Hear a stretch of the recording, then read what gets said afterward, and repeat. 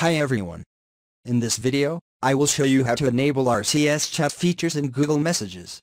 First of all, open Google Messages. Tap on your user profile icon in the top right. Select Messages Settings. Next, choose the RCS Chats option. Enable chat features by turning on your number button. Type out your number and tap Verify Now. It may take several minutes for Google Messages to verify your phone number. Once it's complete, your status should change from setting up to connected.